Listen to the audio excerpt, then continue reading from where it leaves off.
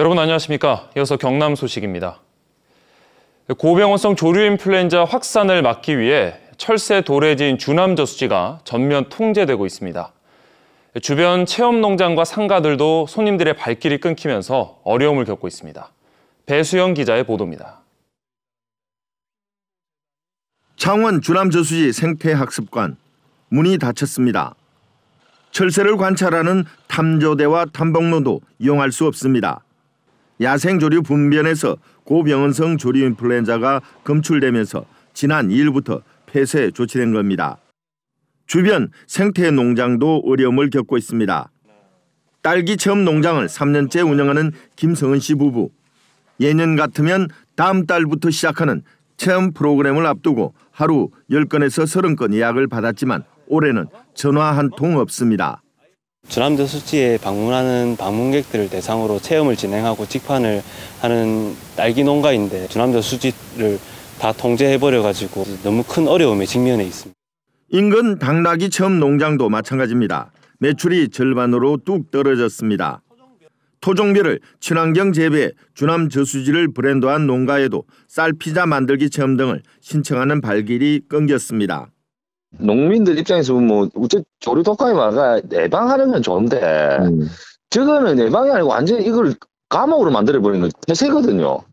주남 저수지 주변 30여 곳에 이르는 식당과 카페 등도 매출이 반토막이 났습니다. 토일 같은 데는 우리가 좀 매출이 많거든요. 네. 그 이제 사람들이 그저 놀러 가지고 조독감 때문에 사람들 마음내를 안 하니까 음. 매출이 많이 줄었죠. 한 어느 정도? 어, 한 반 정도는 그렇다고 봐야죠. 김해 봉화마을 생태농업법인은 쌀 재배 방식을 아예 바꿨습니다. 조류 인플루엔자로 늦갈마다 몸살을 앓자 오리농법 대신 우렁이 농법으로 변경한 겁니다. 조류 독감 때문에 이제 오리는 사용 못하니까 개발한 우렁이 농법을 이제 사용해서 친환경 단지를 이제 그 방법을 저희가 벤치마킹해서 조류 인플루엔자로 철새 도래지 주변 체험 농장과 상인들도 피해를 보고 있습니다. KBS 뉴스 배수영입니다. 경상남도는 지난 14일 김해시 해반천에서 발견된 큰 고니와 쇠오리 폐사체를 정밀 검사한 결과 조류 인플루엔자 항원이 고병원성으로 최종 확진됐다고 밝혔습니다. 또 이달 중순 합천군 합천천과 창녕군 우포늪, 김해시 해반천에서 발견된 다른 야생조류 폐사체와 분변에서도 조류 인플루엔자 항원이 검출돼 고병원성 여부를 조사하고 있습니다. 경상남도는 시료 채취 반경 10km 안에 있는 가금 농장에 대해 이동 제한 조치와 방역을 강화했습니다. 화물연대 파업이 예고되면서 경남 지역 산업계가 또다시 대책 마련에 나섭니다. 6일 지방선거 관련 선거법 위반 단체장을 수사한 경찰이 수사 결과를 발표할 예정입니다. 이번 주 경남 조미령 기자입니다. 화물연대가 이번 주 목요일 0시부터 무기한 전면 파업을 예고했습니다. 이들이 또다시 총파업에 나서는 이유는 안전 운임제가 여전히 정착되지 않고 있기 때문이라고 주장하고 있습니다. 화물연대는 지역별 구체적인 파업 계획을 마련해 경남은 조선기자재 운송을 멈추며 부산은 부산항 수출입 컨테이너를 봉쇄하겠다고 말했습니다. 이에 따라 총파업으로 인한 피해가 클 것이라는 우려가 나오면서 경남 지역 산업계도 대책 마련에 나서고 있습니다. 경찰이 오늘이나 내일쯤 6일 지방선거 관련 선거법 위반 사범에 대한 수사 결과를 발표할 예정입니다. 경찰은 이들에 대한 공소시효가 열흘 앞으로 다가오면서 수사 선상에 오른 단체장들에 대한 수사를 마무리하고 있다고 말했습니다. 현재 경찰과 검찰이 송치나 기소 여부를 아직까지 결정하지 않은 단체장은 홍남표 창원시장을 포함해 박종우 거제시장과 장충남 남해군수, 진병영 함양군수로 4명입니다. 앞서 공직선거법을 위반한 혐의로 송치되거나 기소된 경남의 현직 단체장은 하동과 의령, 창녕, 산청, 거창군수로 모두 5명입니다. KBS 뉴스 조미령입니다. 부산, 울산, 경남 등 동남권 경제 성장률이 코로나19를 겪으며 큰 폭의 역성장을 기록한 것으로 나타났습니다. 경제가 뒷걸음질 쳤다는 건데요. 그 사이 수도권은 1% 가까이 성장해 동남권과 수도권의 격차는 더욱 벌어졌습니다. 김계 기자가 보도합니다. 동남권의 경제 상황 생각했던 것보다 더 심각한 상태였습니다. 코로나19 충격으로 부산, 울산, 경남 지역의 2020년 경제 성장률이 마이너스 5.2%를 기록했습니다. 전국은 마이너스 0.6%로 IMF 외환위기 이후 처음 역성장을 보였는데 지역별로는 제주를 제외하곤 부울경 지역이 가장 낮은 수준이었습니다.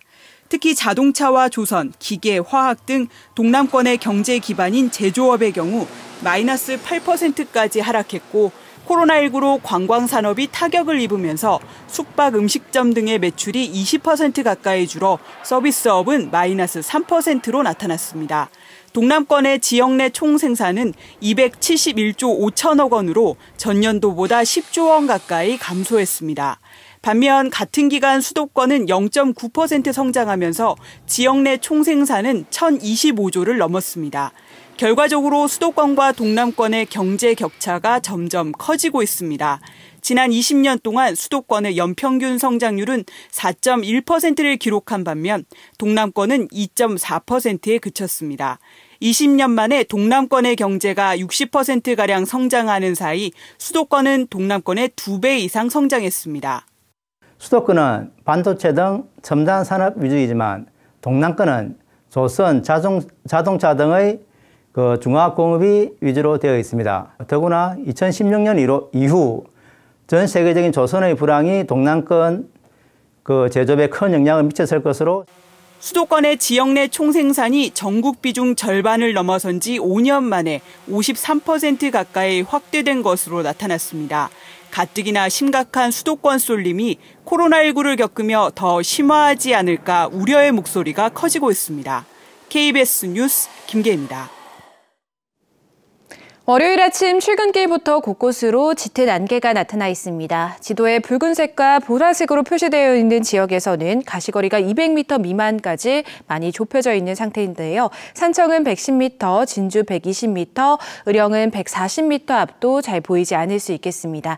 꼭 안전운전 해주셔야겠습니다. 오늘은 예년보다 온화한 날이 예상됩니다. 아침 기온은 어제보다 낮게 시작하고 있지만 창원의 낮 최고 기온은 19도까지 오르며 어제보다도 또 평. 평년보다도 훨씬 온화하겠습니다. 현재 하늘로는 구름이 조금 끼어 있지만 오후부터는 그 양이 늘어나겠고요. 미세먼지는 보통 수준이 되겠습니다. 현재 기온은 김해와 창원, 거제가 8도, 통영 10도로 어제 같은 시각보다 3도에서 크게는 7도가량 낮게 시작하고 있고요. 낮 기온은 20도 안팎으로 어제보다 2도에서 3도 정도 높겠습니다. 지금 하동과 거창, 함양과 산청, 합천은 4도에서 출발하고 있습니다. 낮 최고 기온은 남해가 18도, 그 외 지역은 19에서 20도가 예상됩니다. 오늘 물결은 최대 1.5m로 높지 않겠고요. 해상의 하늘빛도 오전에는 맑다가 오후부터 구름의 양이 늘겠습니다. 절기상 소설인 내일은 오후부터 경남의 모든 지역으로 비가 내릴 전망입니다. 기상정보였습니다. 경상남도 의회가 모레부터 본회의를 열고 경남 도정과 교육의 주요 현안을 따집니다. 모레부터 사흘 연속 이어지는 본회의에서는 부울경 특별연합의 중단 사유와 후속 조치 등의 도정 질문이 집중됩니다. 또 진해 웅동지구 정상화 방안과 사립학교 법정 부담금 문제 등도 따질 예정입니다. 경남 도의회는 또 예산결산 특별위원회를 열어 도청과 도교육청의 올해 추경 예산과 내년도 예산안 심사를 이어갑니다. 조선 경기 침체 이후 거제시 인구가 6.4% 줄었고 청년 인구는 25%가 줄었습니다. 경남 도의회 전기풍 의원이 낸 자료를 보면 조선 경기 침체가 본격화한 2018년부터 올해 상반기까지 거제시 인구는 1만 6천 명, 6.4%가 줄어 23만 7천여 명으로 떨어졌습니다. 특히 같은 기간 조선 근로자 감소에 따라 거제시의 39살까지 청년 인구는 1만 7천 명, 25%가 준 반면 50살 이상 중노년 인구는 만여 명이 늘었습니다. 올해 경남에서 생산된 쌀은 33만 604톤으로 지난해 33만 8,690여 톤보다 2.4% 감소한 것으로 집계됐습니다. 벼 재배 면적은 6만 4,481헥타르로 지난해보다 402헥타르 늘었지만 흰남노 등 태풍으로 인한 기상 여건이 좋지 않아 지난해보다 10아르당 생산량이 16kg 줄어든 탓으로 분석됐습니다. 한편 올해 경남의 공공 비축미는 지난해보다 17,800여 톤 많은 9만 1,322톤으로 집계됐습니다. 최근 경남 함안군과 사천시 지역에서 집값 하락에 따라 전세 세입자가 보증금을 돌려받지 못하는 소위 깡통 전세 위험이 큰 것으로 나타났습니다. 한국부동산원이 최근 공개한 자료에 따르면 비수도권 전세가율은 함안군 96.2%로 나타났습니다. 지금까지 경남 소식이었습니다.